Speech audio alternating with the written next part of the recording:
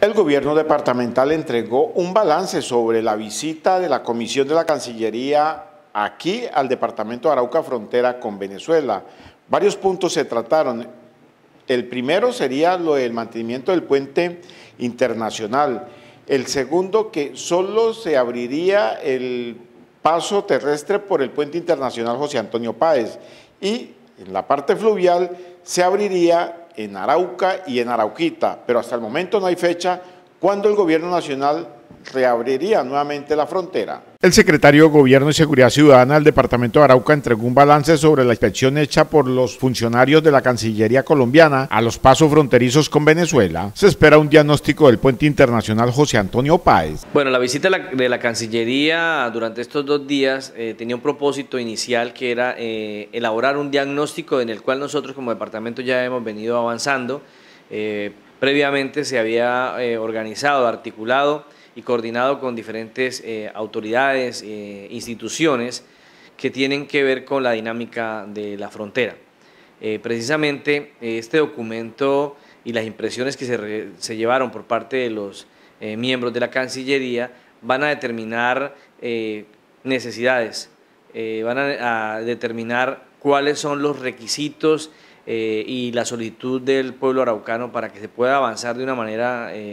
importante y que beneficia a este departamento la apertura de la frontera. Uno de los, de los temas que se llevó a cabo y dentro de las primeras condiciones que se deben tener en cuenta es el estudio de eh, la estructura o de la capacidad de la infraestructura que tiene el puente eh, José Antonio Páez, eh, porque efectivamente es el único paso habilitado que tiene el departamento de Arauca eh, paso terrestre que podría eh, permitir eh, el paso no solamente de vehículos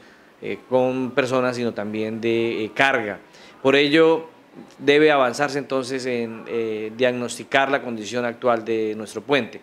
Según el secretario de Gobierno y Seguridad Ciudadana del Departamento de Arauca, Edgar Fernando Guzmán, también se analizó la capacidad de la prestación del servicio del departamento y de la fuerza pública a la hora de la reapertura de la frontera. Por otro lado, la prestación o la capacidad de prestación de servicios por parte del departamento, eh, de las entidades, como lo decía, que hacen presencia, que tienen que ver con la dinámica fronteriza, la capacidad de nuestra fuerza pública y, por supuesto, la posibilidad de que además se puedan establecer de manera formal, de manera oficial, puestos eh, o pasos, perdón, eh, fronterizos fluviales, como en el caso de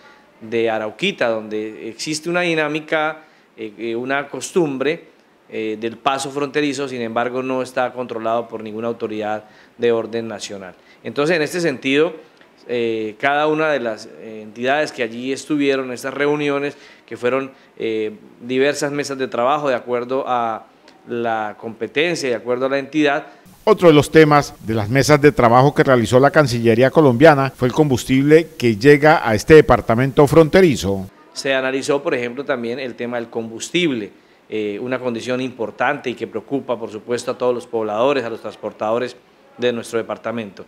Cada una de estas situaciones fueron eh, llevadas a un documento que se elevará a la Cancillería, al Gobierno Nacional, para que se avance entonces en la construcción de las medidas y de la infraestructura necesaria para atender la dinámica del paso fronterizo. El funcionario señaló que se le solicitó al Ministerio de Transporte e Invías un diagnóstico del puente internacional José Antonio Páez. Sí, precisamente se solicitó eh, a través del Instituto Nacional de, Vías y también al Ministerio de Transporte, que son los responsables de, este puente, eh, que se identifique entonces la condición actual frente a la posibilidad de esta apertura y sobre todo por la capacidad de carga de, peso que pueda soportar nuestro puente. Por el momento, solo quedará habilitado el paso terrestre por el puente José Antonio Páez y los fluviales en Arauquita y Arauca. No, la intención es que se cree el paso terrestre que está pues, en, el puente y es el único que tenemos hasta el momento